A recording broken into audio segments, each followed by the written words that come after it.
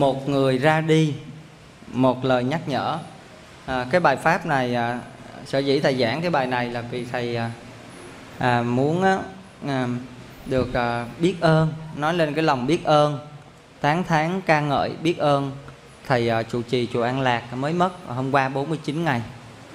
Thì thầy cũng mong qua cuộc đời của thầy trụ trì của thượng tọa trụ trì á thì chúng ta cũng rút ra được à, một số cái bài học cho mình à, trong cuộc sống này kính thưa quý vị à, mà thầy trụ trì của mình mất là năm 56 tuổi 56 tuổi. Thầy à, vào chùa năm 12 tuổi tức là 44 năm 44 năm ở trong chùa. Thầy thì có cái phước duyên là từ ngày mà thầy về chùa An Lạc ở là đến nay là khoảng hơn 10 năm. Thầy ở tại đây hơn 10 năm mà có cái phước duyên là thầy được sống cạnh phòng của thầy của thượng tọa. Cho nên là khi mà được gần, khi mà được gần ngài á, quý vị biết không? Nó thấm. Giống như người xưa nói cái câu thế này nè, thân cận thiện giả như vụ lộ trung hành, tuy bất thấp y thời thời hữu nhận mình mà gần cái người lành á, giống như mình đi trong xương vậy đó, từ từ cái xương nó ướt, mình không biết lúc nào. Nó không có ướt liền mà nó thấm thấm lúc nào. Thì thầy cảm nhận cái mình được cái phước duyên, mình ở được ở gần thầy á, cái mình học được cái hạnh hoặc là những cái hạnh của của thầy á nó thấm vào trong tâm mình lúc nào mình không hay. Và kính thưa quý vị là thầy được ở gần à, à, thầy trụ trì trong à, khoảng thời gian à, cũng lâu và thấy được những cái đạo đức của thầy trí tuệ của thầy từ bi của thầy. Một con người mà có thể nói á là phải nói trong đạo á là thầy là thầy có thể nói là người mà thầy thương nhất. Dĩ nhiên là trên hết trên là chết hết trên hết rồi là chỉ nhiên là có đức phật rồi. Mà những cái vị thầy mà gần mình á thì mình thương nhất. Thầy gọi là sư huynh. Sư huynh gọi là anh đó ở ngoài quý vị gọi là anh á. Nhưng mà sư huynh là cách mình gọi cho thân cận, gần gũi thôi, chứ trong lòng bản thân thầy cũng như bản thân của quý thầy coi thượng tọa là là một cái vị thầy của mình. Là cái vị thầy, tại vì thầy không có trực tiếp xuất gia cho mình. Mình gọi là sư huynh nhưng mà mình coi như là một cái vị thầy. Và thầy vào chùa năm à, 12 tuổi. Đến khi đi là 56 tuổi 44 năm ở trong chùa thì thầy không biết là không biết là những cái lúc khác mà thầy không gặp thì sao thầy không biết. Nhưng những lúc thầy gặp hơn 10 năm thầy ở đây á thầy thấy thầy chưa bao giờ chưa bao giờ nha chứ không phải là có một lần hai lần. Chưa bao giờ thầy nói một cái câu gì đó mà làm mất lòng ai. Rồi nó không biết cái sao mà thầy làm được thầy không mình không hiểu. Dù dụ thầy thấy những cái chuyện mà bất như ý á, nghịch cảnh á thầy thấy thầy nói được thầy nói. Thầy không nói được thôi thầy im à không bao giờ thầy nói một câu gì mà để cho cho người khác phải đau lòng mất lòng hết mà cái đó quý vị biết không khó lắm. Cái đó khó lắm. Nhiều khi cái người mình thân thương hoặc chuyện như ý á, thì nó dễ. Nhưng mà mình gặp cái việc là bất như ý á, là mình dễ. Nhiều khi mình bực á mình giận á nhiều khi mình nói con đệ tử phật chứ con, con xin phật cho con 5 phút con chửi bà này đó là con tu lại. Đúng không? Thì mình hay có cái câu rồi nè tôi tôi nói thiệt cái nha đáng lẽ tôi không nói đâu mà tôi tức quá cho tôi nói. À, là mình chửi mình la gì đó rồi mình rồi bắt đầu mình mới tu lại nhiều khi mình nói tức quá, vì lý do tức quá. Mà quý vị biết thầy không bao giờ thầy thấy, thầy thầy không bao giờ thấy thầy nói một câu gì á, đó cho người khác phiền lòng. Có những lúc có những lúc là giống như thấy có một cái vài chuyện bất như ý á. Với thầy, với thư, với thầy là, thầy ơi, sao sao thầy không nói? Tại vì cái vị trí của thầy thầy nói được. Thầy mới nói một câu, lớn rồi, tự biết tự biết nhân, biết quả, lớn rồi nói ngắn gọn vậy thôi, tự hiểu. Nói ngắn gọn là lớn rồi. Biết nhân, biết quả rồi tự hiểu, tự cố gắng. Thầy không la? Và thầy cũng không bao giờ nói ra một cái câu gì mình tạm gọi là thô lỗ hoặc tục tiểu là tuyệt đối cái đó là không có. Nói một câu đau lòng không nói nữa mà. Bởi vì biết là trong cái khoảng thời gian, và cái đến nay thầy cũng không thấy luôn. Không thấy khi nào mà thầy giận. Không biết trong lòng thầy giận hay không thì mình không biết. Mà không bao giờ mà thầy, cảm thấy thầy biểu hiện cái giận ra ngoài cho người ta thấy. cái gì không biết mình không biết thầy tu có chứng cái gì hay không thì mình không biết. Tại vì á, mình muốn muốn biết cái vị đó mình phải chứng cao hơn cái vị đó mình mới biết. Mình không biết thầy tu chứng sao thì mình không biết. Nhưng mà mười mấy năm thầy ở đây thầy không thấy thầy giận hay chứ không thấy thầy giận quý vị có bao giờ thấy thầy chủ trì giận quý vị lần nào chưa? Có chưa? Chưa. Trao đảm là chưa. Không biết thầy giận trong lòng hay sao thì mình không biết. Chính những cái đức hạnh đó đó. Rồi những cái sự hiền lành đức độ khiêm tốn của thầy cái đó nó làm cho mình thấm. Tự nhiên á, tự nhiên mình thương, mình kính thầy à. Không ai nói đó quý vị thấy không, còn á, còn quý vị quý vị thấy có những người nói, thương tôi đi, kính tôi đi. Nhưng mà nếu vì đó không có đức độ, tự nhiên mình có muốn thương thương cũng không được nữa quý vị. Có muốn kính kính cũng không được. Nhưng có những người tự nhiên cái công hạnh, cái đạo đức của vị đó, mình nhìn là mình kính, mình thương. Thầy cảm thấy thầy hạnh phúc lắm. Khi mà thầy à, được ở cạnh, hàng ngày đi về đi dạy, đi giảng về là gặp thầy. Chỉ cần thấy thầy mình vui rồi mình cảm thấy luôn ở gần thầy là có một cái gì đó bình an một cách lạ lắm. Không cần nói. Cứ ngồi thì gần thầy chơi mà thầy qua thầy pha ly trà. Thầy uống là thầy thì phòng thầy thì không có tủ lạnh. Phòng thầy chủ trì thì có tủ lạnh. Hay có đồ ăn trái cây gì đó. Qua thì nói, có trái cây kìa, có măng cục, ví dụ có măng cục, có sầu riêng, có bánh gì đó. Thì nó ăn đi. Rồi qua thì pha ly trà, uống trà với thầy. Và nhiều khi coi đá banh một chút. Có những buổi ngồi coi đá banh xong có thầy buồn ngủ thì ngủ luôn. Ngủ luôn thầy thầy cứ để cho ngủ, lúc nào tỉnh tự về. em không có kêu gì gì trơn á. Ngồi cái quý vị nhiều lúc á, ngủ quên cái nửa đêm vậy quý vị. Rồi thầy buồn ngủ quá, thầy nằm nó thầy ngủ luôn. Chứ thầy không kêu. Rồi khi nào mình coi đá banh hay là mình coi cái gì đó trên tivi á, mình tỉnh dậy rồi tự đi về. Thầy thấy mình tự về, thầy đóng cửa. Còn mình nằm đó, thầy cứ để cho nằm, coi ngủ gì không biết. Tự nhiên mấy cái đó nhỏ thôi quý vị. Mà mình làm được không? Không làm được. Cho nên là cái điều đầu tiên đó mà thầy cảm thấy hạnh phúc là mình gần được một bậc thầy thiện tri thức. Thầy không có nói nhiều thầy trụ trì không có nói nhiều, ít nói có thể nói là thầy kiệm lời lắm. Quý vị mà mà thăm thầy trụ trì uống trà với thầy mà cúng dường thầy nha. Thầy có một câu một là làm tới. Cái gì thầy chúc cho quý vị cảm niệm công đức, quý vị chúc cho quý vị rồi, hôm sau phật tử các thầy cảm ơn quý vị, thầy chúc cho quý vị mấy câu của thầy tôi có một câu làm tới. Còn nếu lắm quý vị mà ngồi chơi hỏi thầy nha, thì thầy nói theo có mấy câu vòng vòng đó thôi. Có nghĩa là thầy không có nói nhiều, nhưng mà ai cũng kính cũng thương hết á. Cái đức độ vậy. Ở đây mà quý vị nào mà tới với chùa thường xuyên quý vị thấy là cái hình ảnh đó rất là cảm động. Cho nên khi mà thầy thầy mà nằm xuống đó quý vị không? Một sự bất ngờ mà có thể nói là một khoảng trống, một khoảng trống. Rất là, có thể nói là một chuyện buồn mình tu, mình cũng biết cái chuyện nhân duyên, phước báu, chuyện tử sanh, chuyện vô thường rồi. Vậy đó quý vị. Vậy đó mà khi mà thầy nằm xuống thầy đi á, mà mình vẫn không ngăn được trong trong lòng cái sự sự buồn thương trong lòng, một vị kính thương quá. Để biết thầy phát bệnh á, là lúc trước trước tết trước tết khoảng 2 tháng, khoảng hai ba tháng gì đó. Để ý là từ lúc mà thầy phát bệnh, lúc thầy mất là khoảng hơn 4 tháng. Mà khi mà thầy bệnh nó hỏi thầy thầy chỉ nói lâu lâu nó bị sốt trong người thôi. Sốt trong người xong cái lần đó cái nó đau quá thầy chịu không nổi. Thì đi khám vì biết thầy bị bệnh gì không? Ung thư phổi, giai đoạn cuối, di căn qua gan, qua thận, qua tim, qua xương, qua lá lách, qua não. Mà lúc đó đi khám bệnh nhìn thầy vẫn bình thường, không có gì khác thường ông bác sĩ cũng còn ngạc nhiên ông, ông còn nghi ngờ nữa. Mà cảm giác như cái nghiệp nó che quý vị. Mình cảm giác thôi nhưng mình không dám nói. Giống như là mấy lần trước thầy đau quá thầy đi chụp phổi là không ra. Nó không có ra bệnh. Thì lúc mà thầy về thì thầy cứ tưởng bệnh cảm sốt này kia thì thầy mua thuốc thầy uống thôi. Mua thuốc rồi thầy đi qua cái đầu đường đây nè. Thầy đi qua cái đầu đường chợ có tiệm thuốc á. Thầy mua thuốc thầy uống giảm sốt vậy thôi. Lâu lâu có nó đau mấy ngày tuần vậy thôi. Thì sau này khi mà cái lần cuối cùng mà chụp mà khám ra bệnh á thì đại ý nó có cái vết trong phổi mà chụp làm sao đó, nó mới ra. Thì lúc đó là nó ra nó ra nguyên cục vậy luôn á. Là coi như là bác sĩ thua. Bác sĩ nhìn thầy, bác sĩ nói thua, thầy từ 3 đến 6 tháng là một quý thầy. Rồi phật tử cũng đi tư vấn nhiều bác sĩ lắm, không có hóa trị, xạ trị gì nữa. Đừng có nghĩ là chấp nhận thôi. Thì mong cho thầy uống thuốc giảm đau rồi thầy sống được ngày nào nhẹ nhàng ngày đó, lúc đó là chấp nhận rồi đó. Rồi có nhiều phật tử nghe tin như vậy lên thăm thầy á. Lên thăm thầy, họ thương, họ buồn quá, họ khóc, họ chịu không nổi, không, cái tin đó nó như xét đánh đối với họ, thương thầy như người cha vậy đó. Họ khóc. Cái thầy mới nói một câu thế này nè. Khóc cái gì? 18 năm sau, nam tử hán, đại trượng phu lại thôi. Là quý vị hiểu ý thầy không? Hiểu không? Tức là khóc cái gì? Thầy chết xong rồi 18 năm sau thì quay lại. Là 18 năm sau, quay lại một anh thanh niên, nam tử hán, đại trượng phu tu tiếp. Ý thầy vậy đó. Không có, không biết sao, thầy không sợ cái gì thầy bệnh, thầy biết trước cái chết vậy đó. Mà không có sợ. Không bao giờ thầy thấy thầy sợ nha mà có một điều đặc biệt cũng không rên luôn cái gì. Cái khoảng thời gian đầu là quý vị biết phải uống cái cái chất gì giống như ma tí á. Morphine gì đó đó. Uống cái đó mà cứ hai tiếng uống một lần thì thầy thấy cảm giác lúc đó là thầy đau mà thầy không có rên. Ví dụ như thầy ngồi dậy thầy nhích cái người qua là thầy cũng phải giống như thầy hơi nhăn nhăn cái chiếc cái đau quá á. Thì khoảng thời gian đó thôi. Thì khoảng thời gian sau này cỡ một tháng trước khi mà thầy mất thầy cũng không uống luôn. Không bao giờ thấy thầy than, thầy rên, thầy gì hết trơn á không biết cái cái cái định tu của thầy sao mình không biết được. Mình ở gần mình mình thấy những cái điều đó. Thì thầy thấy là cái một bài học đó, cho mình kế tiếp là như thế này nè quý vị. Là có những con người á khi người đó đi rồi mình thấy có một cái khoảng trống để lại. Có những người mà khi đi rồi mình mừng dữ lắm. Ôi anh ấy đi rồi khỏe thấy không?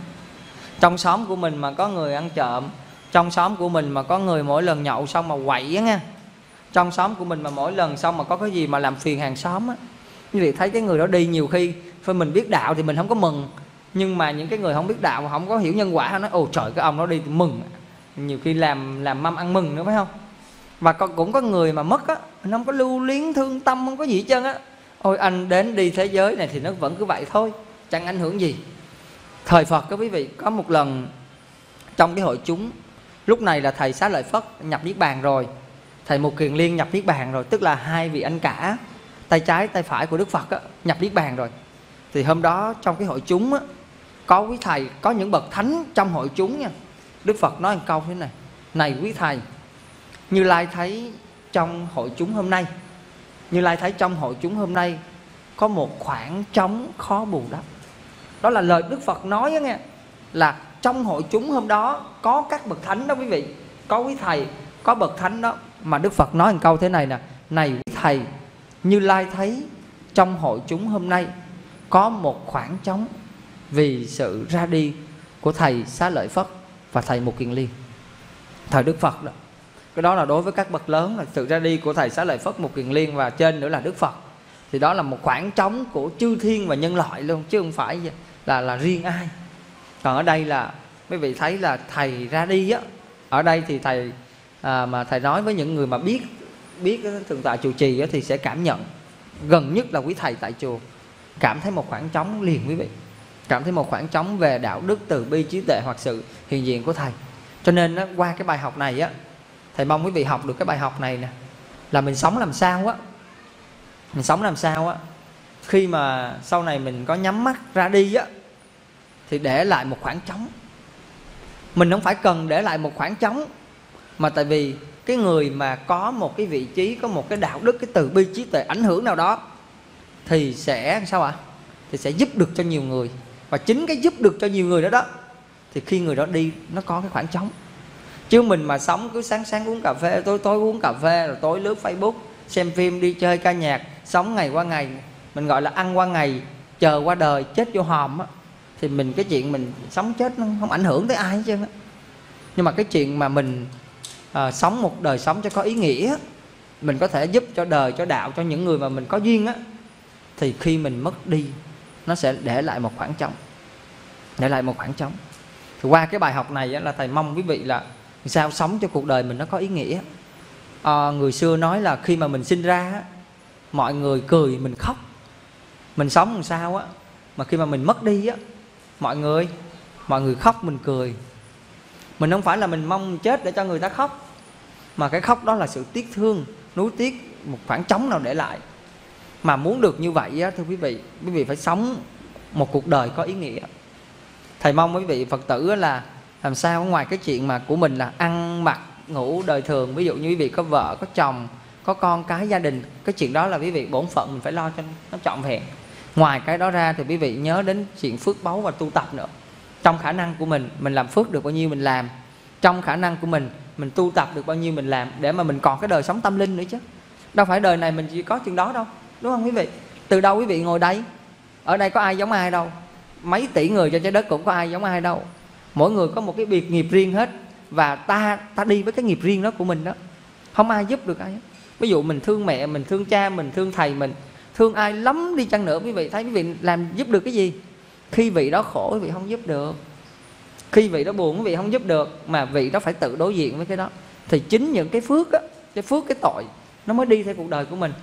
Cho nên là làm sao quá thầy cũng mong qua cái bài học của thầy chủ trì quý vị sống làm sao đó để là nơi nương tựa cho một số người mà mình có duyên.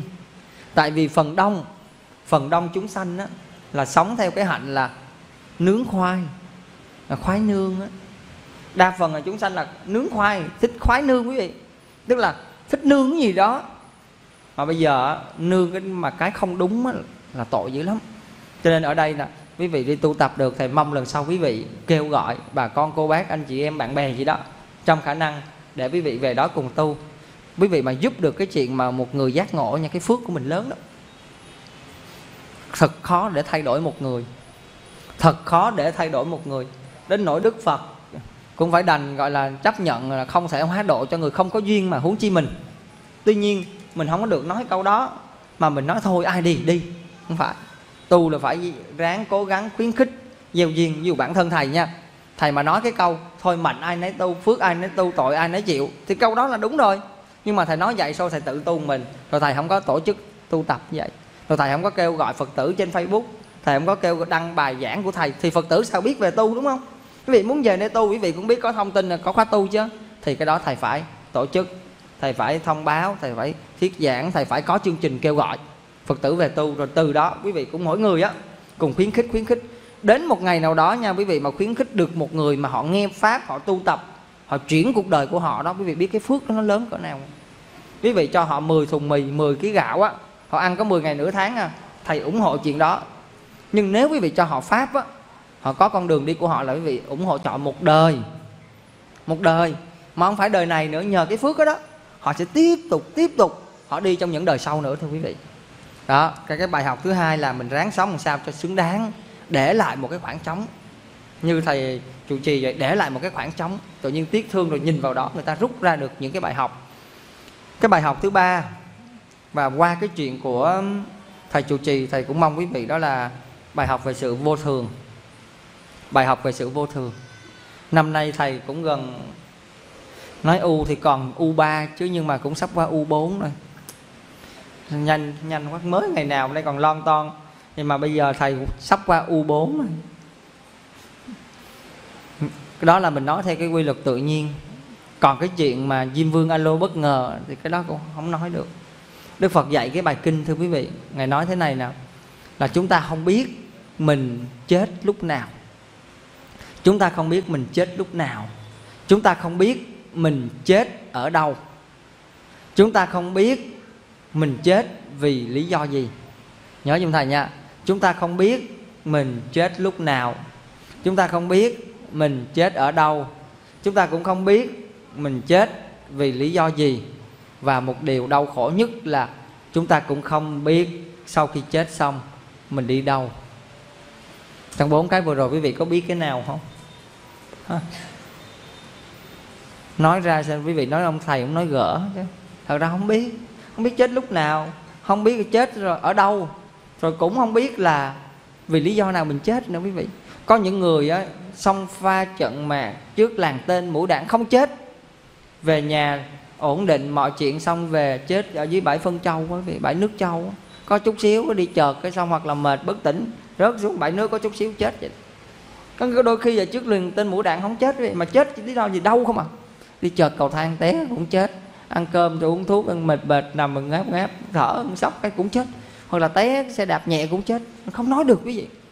Cho nên đó là nói đến cái chuyện vô thường, mà cái chuyện vô thường của thầy chủ trì chúng ta thấy rõ lắm quý vị. Thầy khỏe lắm. Thầy sáu mươi mấy ký, tập tạ hàng ngày. Đời sống của thầy chủ trì quý vị biết không? Là thường thường nó có công thức nó có chuyện đó. Ở sáng dậy là thầy có đi lễ đâu đi lễ, xong rồi trưa về thầy nghỉ ngơi.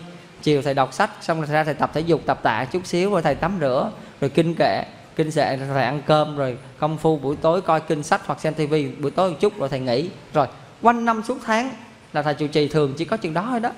Có nghĩa là cái nếp sống của thầy đơn giản giản dị, chừng đó thôi đó. Quý vị là, quý vị lên phòng thầy á, quý vị thấy nóng lên phòng thầy rất là nóng nóng dữ lắm với phật tử nhiều khi thấy thầy ở cái phòng nóng quá đi, quý vị muốn nói thôi thầy, con bắt cho thầy cái máy lạnh. Một, đây giờ thầy cũng khai thiệt cho quý vị nghe. Một trong những lý do mà thầy không bắt máy lạnh đó là tại sao quý vị biết không? Là thầy trụ trì sống bên cạnh, thầy không có sống với cái máy lạnh. Thầy sống đơn giản vậy, tự nhiên mình bên cạnh bắt cái máy lạnh, chứ thật ra thầy cũng sợ nóng lắm chứ không? Không? Nhưng mà thấy thầy trụ trì bên cạnh, thầy sống đơn giản có cây quạt không à à mà mình ở đây, mình mình ở đây mình ở chúng cái mình mình bắt cái máy lạnh nó kỳ lắm. Với lại thôi vậy mình đơn giản cho nó khỏe. Một trong những lý do trong phòng thì không có tivi là vì biết tại sao không? Thì để cái tivi xong đi giảng về mệt, bỏ tivi lên coi tin tức thời sự hay là cái này cái kia một chút, xong rồi coi mệt, cái xong nằm nó coi ngủ luôn. Thay vì vậy thì cho luôn cái tivi để muốn coi, đi qua phòng thầy chủ trì coi cho nó vui. Ý thầy là vậy đó. Là qua để ngồi chơi với thầy, uống trà với thầy chứ nhiều khi mình đi giảng hay về phòng, cái mình rù rù trong phòng, mình ngủ để qua thăm thầy, ngồi chơi với thầy cho vui để gần, được gần gũi thầy. Nên nó bài học kế tiếp á, là cái chuyện vô thường. Thầy cũng mong quý vị ý thức được cái chuyện vô thường á, ráng cái ngày nào mình có thể làm phước tu tập được thì làm nha. Một niệm, mình phải trân quý từng niệm luôn, từng niệm, từng phút, từng giây, chứ không phải trân quý mà mình gọi là ngày tháng là nó dài đó quý vị có thể làm được chuyện đó, sắp xếp làm đi. Chiều nay nó đổi ý á, chiều nay đổi ý á, mà việc thiện á không mạnh nó dễ đổi lắm nha. À, quý vị coi coi phải không? Việc thiện mà không quyết liệt làm á là nó đổi dễ đổi ý lắm á. Nếu làm được tranh thủ làm liền. Làm xong là ok rồi có rồi có cái công đức nhét vô. Nhét vô cái thùng công đức rồi nó không mất rồi. Đủ duyên nó chỗ. Còn mà mình suy tư tính toán thì nói ví dụ nha. Quý vị à, làm phước phút cuối cùng quý vị mới làm. Không có chịu làm. Nó đi làm mà không làm phút cuối cùng người ta lên xe chuẩn bị đi làm từ thiện. Thôi, cho em đi với. Em suy nghĩ lại rồi, em làm. Rồi cũng đi làm. Sau này khi phước nó chỗ quý vị quý vị tê tua tan nát, tơi tả tàn tạ, rồi nó mới chỗ quý vị hiểu không? Có nghĩa là quý vị, cái cách quý vị làm phước như thế nào, thì khi cái quả lành nó chỗ cũng vậy á. Phút 90 cộng 1 quý vị mới làm. Thì sau này á, giống như quý vị, phước nó cũng chỗ mà phước nó cũng chỗ phút 90 cộng 1 quý vị tê tua đà tan tơi tả, rồi nó mới chỗ còn quý vị nghe xong cái, ồ, thầy quá, con ủng hộ. Trong lòng con thì hết lòng, thành tâm hết lòng, cung kính, hoan hỷ, con làm con làm liền. Sau này giống như cái phước nó thường chỗ làm sao? Cái phước nó chỗ chỗ rất là nhanh, thuận duyên cho quý vị. Và đặc biệt là giống như là có ai đó để dành sẵn cho quý vị cái cái cái phước đó để quý vị tới quý vị hưởng. Nó là gì đó quý vị? Ở cái cách của mình á. Rồi trong lúc mình làm á, thì nói ví dụ đi, hôm nay quý vị cúng cúng dường cho cái vị sư đó. Trong bát cháo đi trong bát cháo thì nói ví dụ quý vị thấy vài hạt sạn vài hạt lúa cái mình nói như này thôi có chút xíu vài hạt lúa hạt sạn cũng sao. Có chút xíu không sao quá thôi đó thời phật có quý vị có một à, có một ngạ quỷ có một vị ngạ quỷ quý vị biết cái ngạ quỷ này bị cái là ngạ quỷ nhưng mà bị là trong cái cái cái thân á, là có những cái giống như cây kim mọc đầy á. Thì cái duyên tới tay đức phật. Đức phật mới nói là do cái vị này có một kiếp có một kiếp là cái vị này mới đi vào trong cái hội chúng của quý thầy á thì đại ý là có một cái phản rất là sạch. Và ngồi trên cái phản đó thì thay vì mình phải chuẩn bị sạch, mình phải ngồi để đừng ảnh hưởng người sau nha. Thì cái vị này người lúc đó dơ lắm, dơ. Mà thôi kệ, không sao đâu, mình ngồi đi, chắc cũng không sao đâu, không ảnh hưởng đâu. Có một chút mà sự khinh suất của mình á, thôi kệ, dơ cũng không sao đâu, ngồi đó, ảnh hưởng đến người khác. Sau này có một kiếp khi mà chỗ ngạ quỷ thì cơ thể là những cái cái kim đâm á, quý vị. Cho nên đó là, quý vị thấy không, mình mà là để lại gánh nặng phiền muộn cho người khác, khi mà nó chỗ quả cũng khó nói nữa cho nên là khi mà quý vị hiểu được điều này á, quý vị làm phước á, thôi bây giờ nói như nào không làm thôi, không làm luôn, khỏi làm đi chết rồi. Không làm, quyết từ đầu không làm. Còn ráng làm á, thì ráng tranh thủ, cố gắng có thể. Tuy nhiên tuy nhiên nếu mà khi thay đổi làm thì thầy vẫn ủng hộ nha. Cái này thì có còn hơn không? Có còn hơn không, quý vị hiểu không? Nhưng mà thầy thầy luôn luôn muốn quý vị là phát tâm cho dõng mãnh cho tha thiết, cho hoan hỷ, thì cái phước nó chỗ cho quý vị, nó sẽ chỗ kiểu đó. Giống như quý vị thấy một người khó khăn về chuyện học hành. Quý vị muốn giúp cho người đó, suy nghĩ có nên giúp không? Giúp làm sao? Mà thôi kệ thôi, chắc còn không nên giúp đâu. Ví dụ vậy đó, mình suy nghĩ rằng rất là khó khăn cho cái vị đó đến khi mình giúp. Rồi thì mình cũng giúp. Sau này khi quý vị khó khăn trên bước đường học của quý vị, không ai giúp quý vị hết đó. Nhưng mà phút cuối cùng gần như là bế tắc rồi, tự nhiên có người giúp quý vị. Lý do tại sao? Đó là tại vì lúc quý vị giúp người ta, quý vị cũng giúp kiểu đó đó. Rồi nắm giùm ý thầy, ý này nha. Tuy nhiên, nếu mà thay đổi thì cứ làm, có còn hơn không, phải không quý vị? Đó là bài học vô thường. Bài học thứ tư cũng là bài học cuối mà thầy muốn nói với quý vị hôm nay á, đó là cái vấn đề hồi hướng. Cái vấn đề hồi hướng.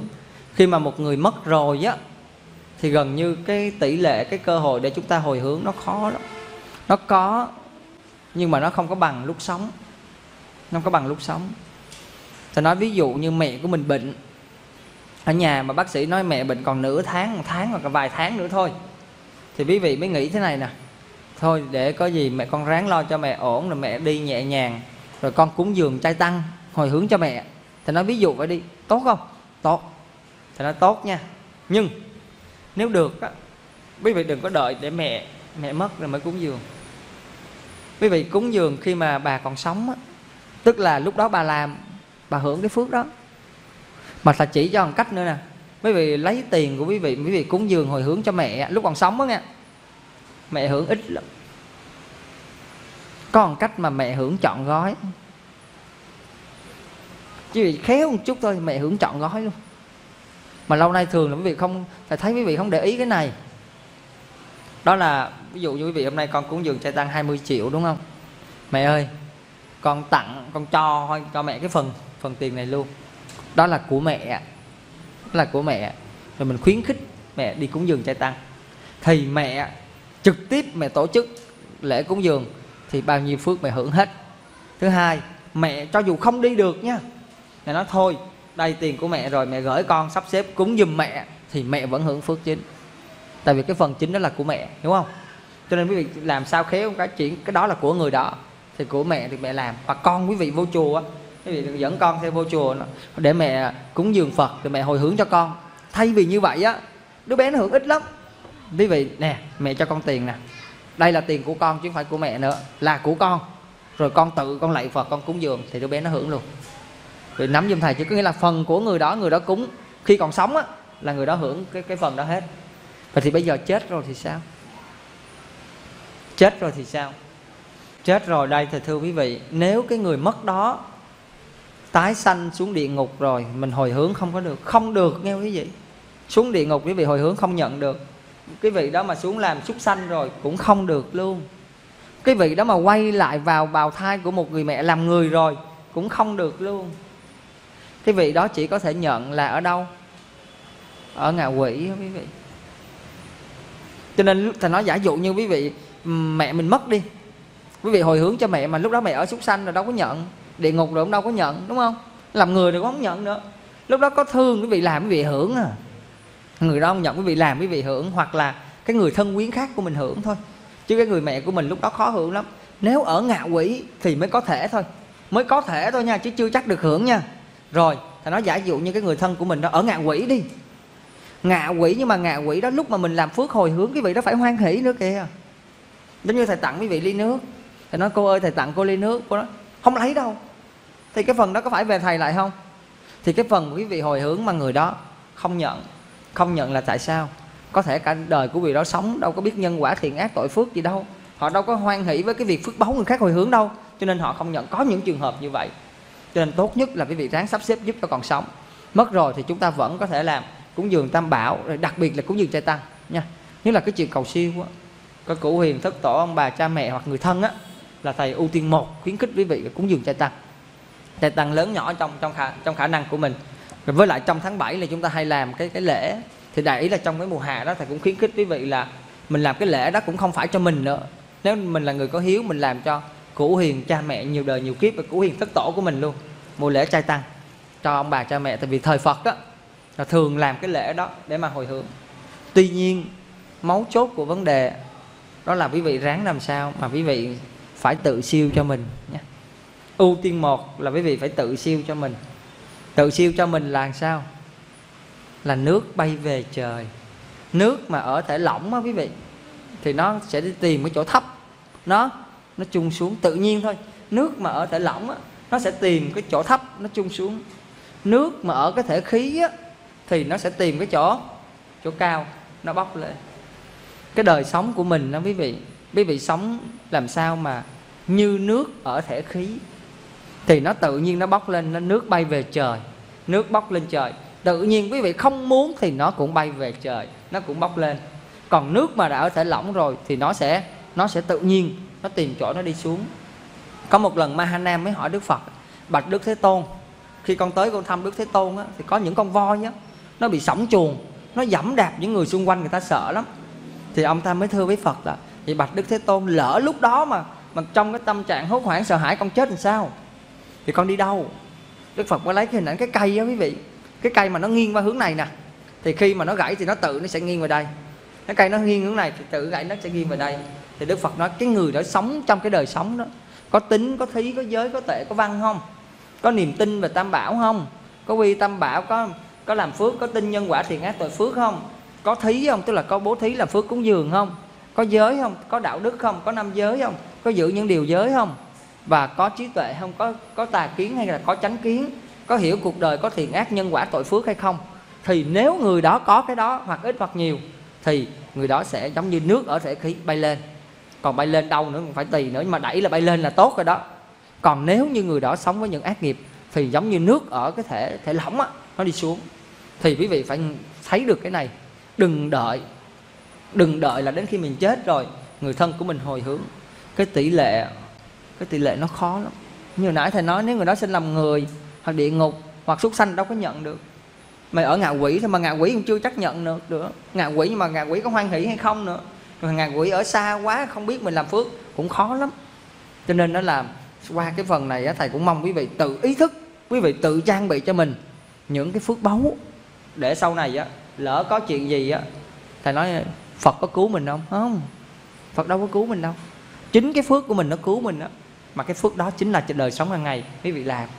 Còn nữa tuy nhiên chúng ta cứ vẫn cứ làm phước để hồi hướng cho cái vị đó. Vị đó ở cảnh giới đó vị đó có nhận được. Hoặc vị đó không nhận được thì ai nhận? Thì người thân quyến khác của mình nhận nha. Rồi thì hôm nay nhân cái dịp uh, khóa tu. Và hôm qua là ngày 49 tuần trung thất của thượng tọa chủ trì. Thì thầy gửi đến à, đại chúng một bài pháp thoại ngắn với cái chủ đề là một người ra đi một lời nhắc nhở.